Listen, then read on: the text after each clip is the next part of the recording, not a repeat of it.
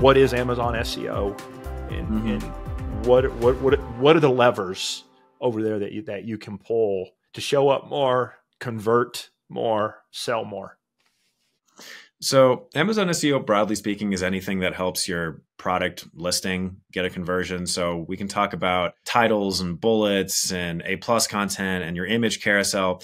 But I think maybe most interesting for um, a conversation with a Google SEO and, and just talking about the, the similarities, the differences, is talking about is, is, is really keyword research, right?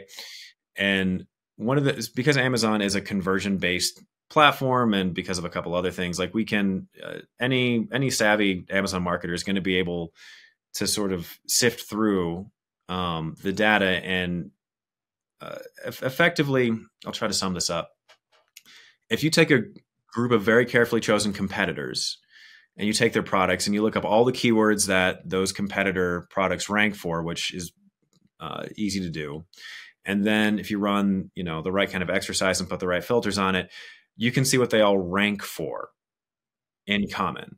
And so what what this spits out is not only like um, you know, if you're selling laundry detergent and you examine the top competitors for the term laundry detergent and it spits out that term, that's not a surprise. But if you're doing the exercise right, you'll also get a lot of long tail keywords, mm-hmm. you know, that have that might have less traffic, but are getting conversions. They're getting sales. Ooh, like They're getting that. your competitor sales. So you get short tail and long tail.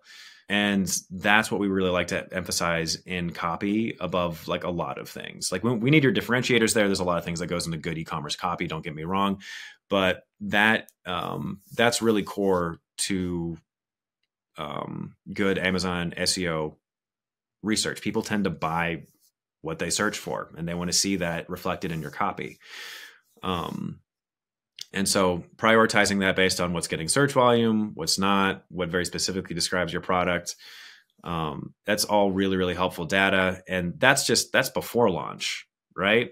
Um, you know, once you've already launched, then you can start digging into what advertising terms are really working for you. Uh, there's now a search, uh, it's called the Search Query Performance Report on Amazon. You can see the percentage um, of the market that you have for certain keywords on Amazon.